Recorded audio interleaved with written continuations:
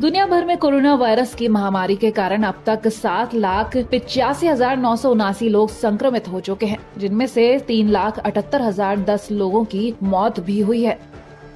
वहीं इस जंग में कई ऐसी हस्तियाँ भी शामिल हैं जिन्होंने प्रधानमंत्री का साथ देने के लिए पीएम केयर फंड में दान दिया है।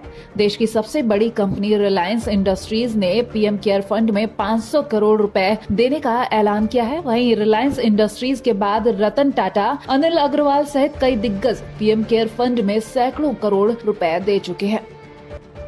बात करें अगर रिलायंस इंडस्ट्रीज़ की तो देश के अरबपति कारोबारी मुकेश अंबानी की कंपनी रिलायंस इंडस्ट्रीज़ ने पीएम केयर फंड में 500 करोड़ रुपए देने का ऐलान किया है। वहीं रिलायंस ने कोविड 19 के मरीजों के लिए मुंबई में 100 बेड का एक अस्पताल भी तैयार करवाया है। वहीं रिलायंस के ज़रिए हर रोज 50 लाख लोगों को खाना भी खिलाया जाएगा।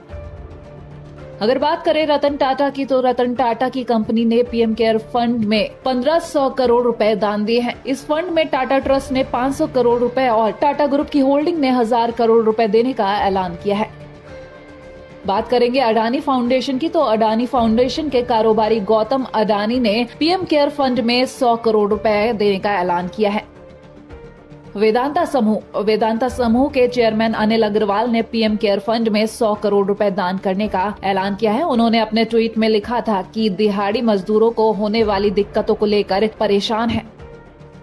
पेटीएम कंपनी पेटीएम कंपनी के मालिक विजय शेखर शर्मा ने पीएम केयर फंड में 500 करोड़ रुपए देने का ऐलान किया है। कंपनी ने कहा कि पेटीएम वॉलेट, यूपीआई और पेटीएम बैंक डेबिट कार्ड का उपयोग कर पेटीएम के माध्यम से किए गए हर भुगतान के लिए कंपनी फंड में दस रूपए तक अतिरिक्त योगदान देगी।